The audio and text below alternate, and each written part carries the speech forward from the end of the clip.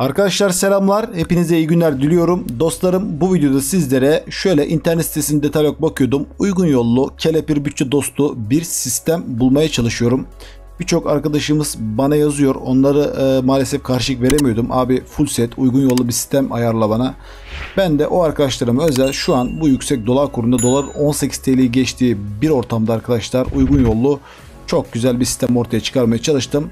En azından mantık dolu bir sistem. Videoyu iyi izleyin arkadaşlar. Çünkü neden diyeceksiniz? Bu sistemi bu şekilde almayacağız. Gencer Gaming'de bu Apu V1 adında sistem var.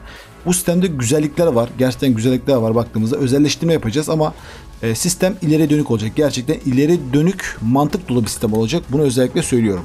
Şimdi bu sistemi aldığınız takdirde ne yapacaksınız? Günlük e, bütün işlerinizi yapabilirsiniz arkadaşlar. Multimedya kullanımda rahat işinizi görür. Video izlemek, internette takılmak vesaire. E, LoL, CSGO, Valorant tarzı basit oyunların hepsini 1080p orta ayarlarda rahatlıkla açabilirsiniz. Age of Empires atıyorum biliyorsunuz eski oyunlar var. Metin vesaire oyunları rahatlıkla açarsınız. İçinde Vega 3 grafik kartı olacak şu an için.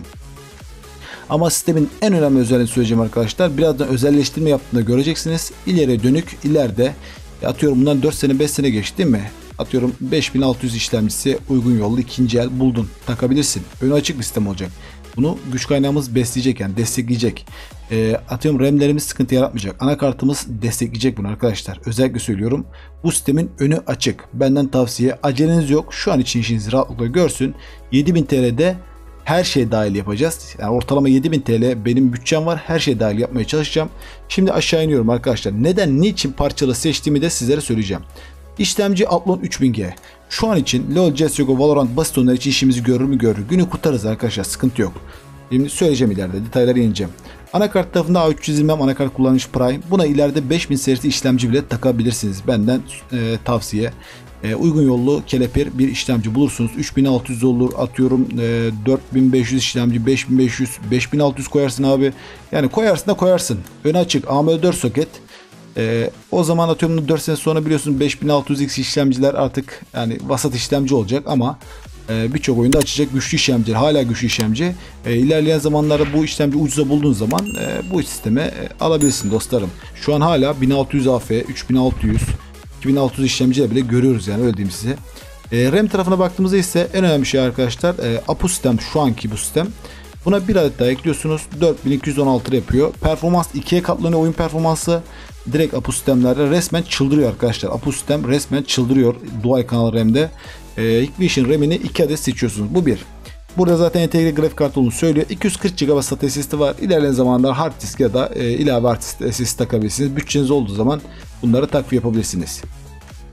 Şimdi önemli bir nokta kasa tarafında olduğu gibi bırakmıyorsunuz. Bu kasayı ben istemiyorum. Ben 650 Watt burada Game Power'ın Dark Side kasası var. Bu kasayı alın arkadaşlar. 232 lira fiyat çıkıyorsunuz basıyorum. Neden? İleride ben atıyorum ekran kartı aldım. işlemci değiştirdim. 650 Watt bize biz problem yaratmaz. 400 Watt tökezler. O yüzden bu şekilde almanızı bu sistemi tavsiye ediyorum. Şimdi aşağı iniyormuş bir şey dokunmuyorum arkadaşlar. Olduğu gibi alabilirsiniz. Şimdi şuraya gelelim. Monitör seçimine. Ben piyasaya baktım arkadaşlar. Sizden önce baktım 75 Hz monitörler 2000-2500 TL arasında satılıyor. Gerçekten bilindik markalar. Çok böyle e, dandik markalara girmiyorum. E, ben şurada gördüm arkadaşlar Gencer Gaming sitesinde Gamebuster'ın şurada görüyor musunuz? Bakın GB 2461 CF monitörü 23.6 inç 1 ms Full HD 144 Hz Fritzanic desteği veriyor. Curved monitör. Bu monitör sıfır çerçeveli şık bir monitör. Oyuncu monitörü. 2600 lira bence e, monitörlerin fiyatları çok yükselmesine rağmen bu piyasada alınabilecek bir monitör. Bu monitörü de eklediğim zaman 7047 lira yapıyor. Şimdi ne yapıyoruz? Sistemimiz ilerleyen zamanlarda iyi bir ekran kartı taktığımızda anakartımız, kasamız, işlemcimiz yani işlemci değiştirdiğimizde hepsi uyumlu. Monitörümüz süper var. İleride istediğiniz ekran kartı takabilirsiniz. Gayet güzel. Ee, anakartımız destekliyor. Güç kaynağımız destekliyor. Yani anlayacağınız sadece işlemci ve ekran kartını update ederek bu sistemi ilerleyen zamanlarda bile kullanabilirsiniz. Şu an için hiçbir sıkıntı yapmaz. Basit oyunlarla idare edin. İlerleyen zamanlarda update yapabilirsiniz dostlarım. Şimdi ben Akakçe'ye geliyorum. Klavye, mouse, kulaklık seti yazdım. Aradığımda en düşük fiyatlı kelepir işimizi görecek Brave'nin K20 oyuncu gamer kulaklık, mouse, klavye işte atıyorum burada gördüğünüz mousepad veriyor. 179 lira. Bunu da ekleyebilirsiniz. Toplamda baktığımızda 7200 lira fiyat yapıyor ortalama arkadaşlar. Alınır mı? Bence alınır. Neden? Ön açık bir sistem en azından. Kasamız, RAM'imiz, monitörümüz, anakartımız tamamen gelecek vaat diyor. Ee, uzun yıllar kullanırsınız arkadaşlar bu sistemi. Benden tavsiye. Bir başka videoda görüşmek üzere. Kanalımı e, izleyip e, abone olmayan arkadaşlara abone olsa çok sevinirim. Bir başka videoda görüşmek üzere dostlarım. Kendinize çok iyi bakın. Hepinizi seviyorum. Hoşçakalın. All about